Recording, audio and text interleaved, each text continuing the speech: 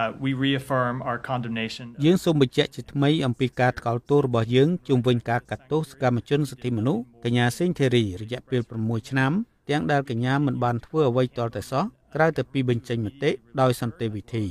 យើងបន្តអំពាវនាវដល់រដ្ឋាភិបាលកម្ពុជាឲ្យដោះលែងកញ្ញាជាបន្ទាន់ព្រមទាំងដោះលែងជាបន្ទាន់នៅបុគ្គលទាំងអស់ដែលត្រូវបានគេឃុំខ្លួនក្រោមបទចោទប្រកាន់ដែលមានចរិតនយោបាយ